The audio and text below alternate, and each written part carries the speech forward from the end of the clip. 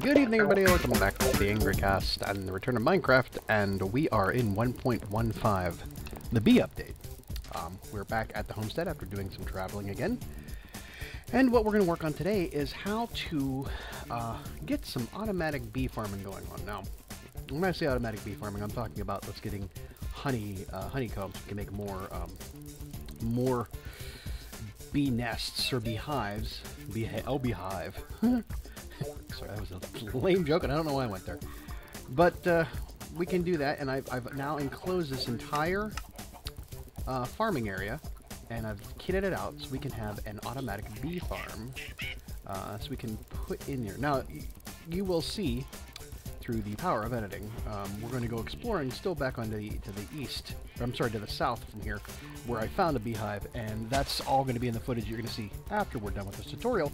But for now, let's talk about what we're doing here. So, I got to be able to show you without you not being able to see it. So, of course, as you can see over there, I have a bee hive, and that is made. Uh, that is made with. Let me go get to a chest or a, a crafting bench. Can show you. Okay, so crafting bench will show you what we're going to do here. So I have, you, see, you will see there is a bee nest here, and that is gotten, you will see how you how you get it. You have to pick up a bee nest uh, with a silk touch uh, uh, tool, which I have my, my pickaxe here, which is a silk touch efficiency 5 and mending all gotten through our automated, our, our, our AFK fish farm, uh, all the books to make that. So I was able to pick this up by putting a, a campfire underneath the bee nest, and then that traps the bees inside.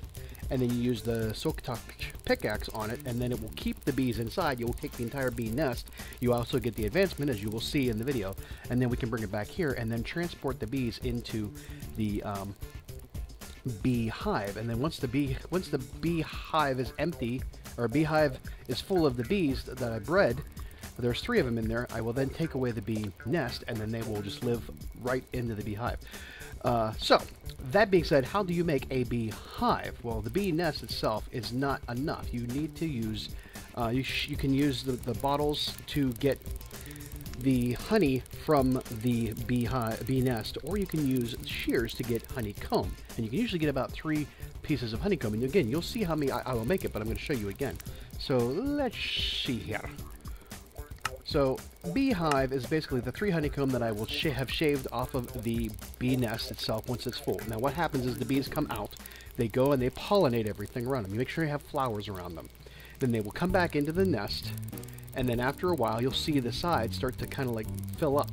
That means there's honey in there. Now you can either do uh, get honey from a bottle, or use shears and get bee uh, honeycombs. And with the honeycombs, you can then make the bee hive by taking planks and the honeycomb. So once that's done, you will need a few other things, and it's a very simple machine. You're going to need a dispenser, which of course is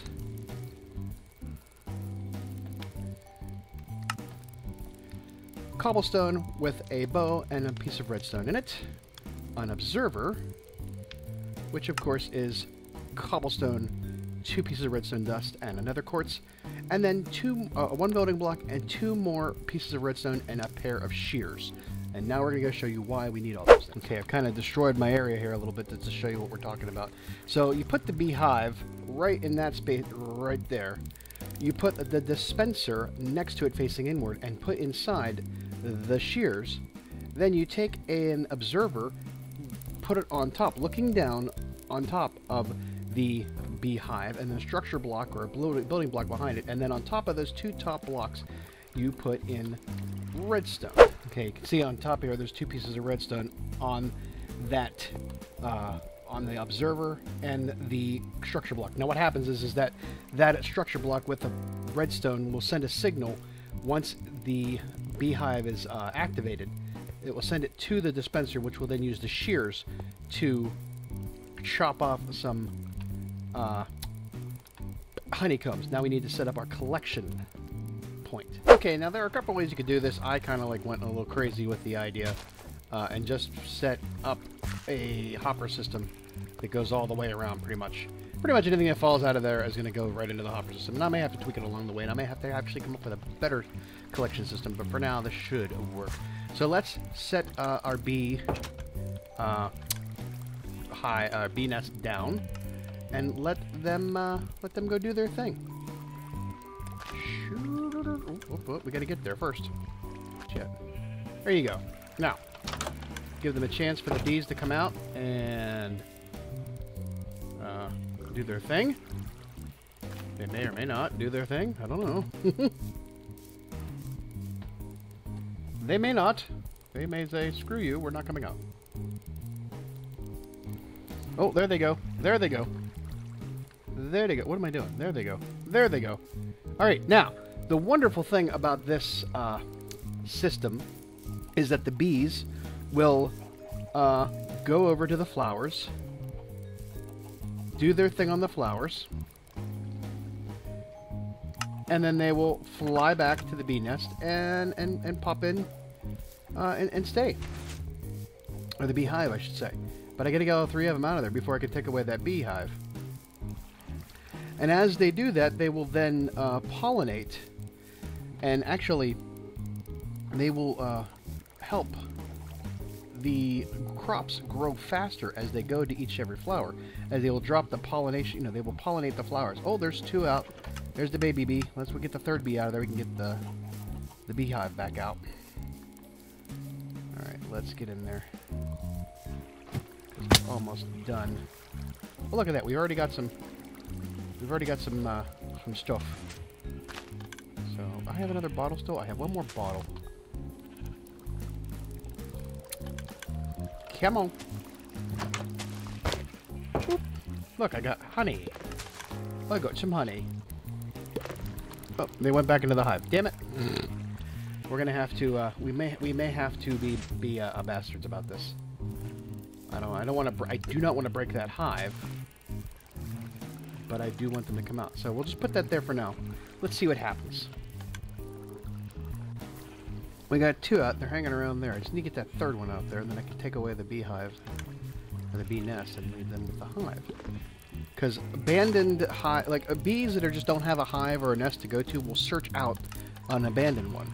And if there's nothing, uh, if the, the beehive is there, they will take up residence in it. I just need to get that last bee out of the hive, so that we can go to the bee, or yeah, to the bee nest. They can go to the beehive. Now that he's sort of like hanging out over there doing his thing, he might go right back to that. It's the closest one. So we just have one more left out of there. Now the one thing about this um, this automated thing is, is that yeah, they pollinate the crops, they grow the crops faster. You still have to um, plant them. I mean, they will. It'll make it go faster, but you and we have our automated uh, harvesting mechanism with the you know all the uh, redstone and the water but we still have to replant all of them by hand. I mean, that's why we have a door on here and everything closes so we don't lose any of the bees. Oh, don't go back there. Don't go back there. You. Mm. So, but there you go.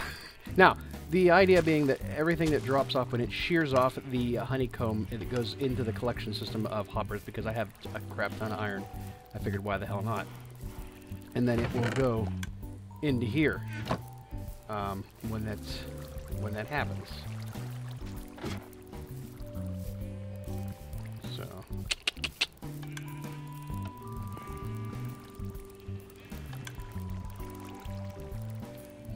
Alright, we got two out. Just need that third one to come out.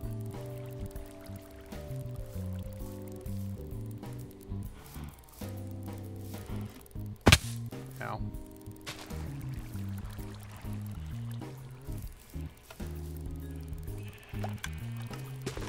Alright. Up. Up. Oh, they're mad at me now. Oh, shit. Oh, no. Oh, no. Oh, no.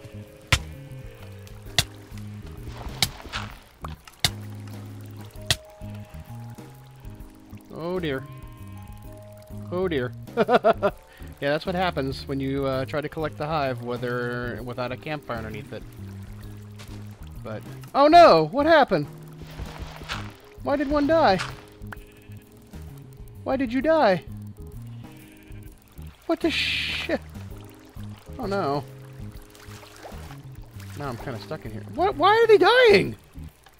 Jeez. Oh, well. What the hell? Okay, well, apparently it turns out, doing a little research, that bees can take damage if they touch water. So if they're touching anything in there that's water, they uh, they will die. But, uh, you know, I, I can go back out into the world. I know where there's bees, beehives at. I can use the same method with the silk touch pickaxe and a fire, uh, a campfire to collect more bees, and then I can bring them all back, breed them, and have a whole big thing full of bees in there working around. So there'll always be more uh, for that. So, but uh, you know, that's that's what we wanted to show you how to do. Now we're gonna go out and uh, continue exploring, and uh, you will see exactly how I came across the bees that we used for this particular uh, tutorial. Uh, and again, um, this is not my design, of course. Uh, not that uh, not that uh, creative or um, smart, uh, but uh, channel by the name of Wattles, who I follow, was the one who came up with the um, the design, or at least. Oh, look at that! We already got honeycomb out of that thing. How about that? So yeah, so we will uh, we will we will continue on that. Wattles, thank you very much for the the uh, the design idea. Um, we're gonna use it to good, put it to good use, and now we have a uh, cool ass uh, you know better automated uh, better automated farm. We're mixing we're mixing them all together now. How about that? So we better go get some sleep, and then we're get on the road and keep exploring. But we'll see you then. So take it over, uh, take it away there, just cinematic view, Bongo.